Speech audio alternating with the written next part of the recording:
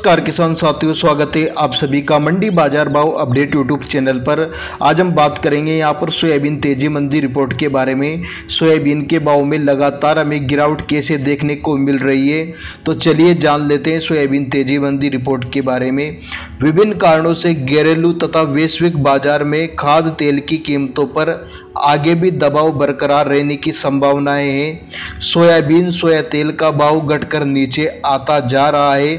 Malaysia तथा Indonesia में palm तेल का भाव गिरता जा रहा है, जबकि निर्यात प्रदर्शन उम्मीद के अनुरूप नहीं है। सोयाबीन के भाव को लेकर मंडियों में कास बदलाव में देखने को नहीं मिल रहा है। ऐसे में सोयाबीन भाव पर एक नज़र डालें तो नीमच मंडी में सोयाबीन का दाम चार हज़ार रुपये से लेकर इक्यावन सौ नब्बे रुपये प्रति क्विंटल तक देखने को मिल रहा है। मदसौर मंडी में सोयाबीन का दाम सैंतालीस सौ रुपये से लेकर इक्यावन सौ सत्तर रुपये प्रति क्विंटल तक देखने को मिल रहा है।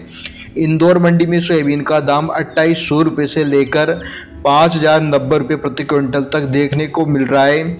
सोयाबीन प्लांटों की बात करें किसान साथियों तो धानुका नीमच में इक्यावन सौ साठ रुपये प्रति क्विंटल तक हमें सोया का दाम देखने को मिला है।